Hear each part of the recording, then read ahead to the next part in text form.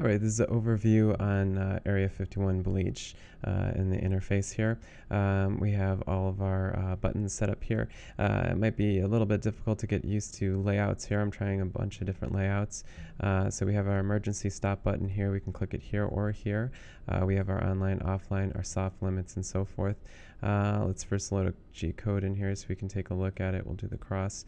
And um, and uh, on our right hand side, we see that uh, we have a panel here. Uh, we have our tool panels, our project extremities uh, for X, Y, and Z, and then our reference points here.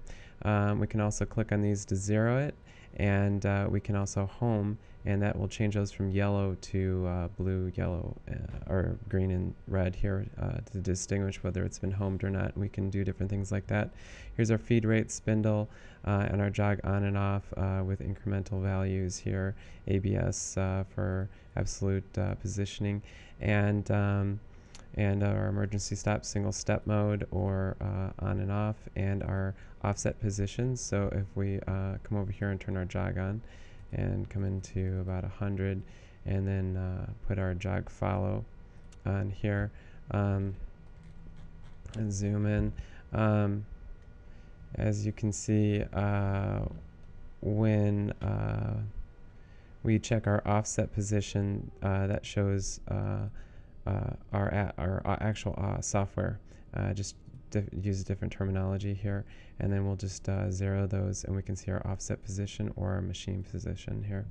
Um, all right, so setting a, a, a, reference point so we could actually uh, set this reference point exactly where the location is here uh, and then go and uh, move our machine, uh, go somewhere else and then just go back to that reference point and automatically um, go back to that here. Let's take a look we can see that and then go to the reference point. Automatically goes back there. Um, all right so then uh, when we actually uh, start our code we have uh, some confirmation here with the horse running with the gear uh, just an idea um, and uh, everything else is basically laid out the same. Uh, here's our MDI line emergency um, all of our actual diagnostic center here which is laid out exactly like the normal Mach and I believe that is about it. Uh, we can increase or decrease our feed rate. This will come on when it's overwritten.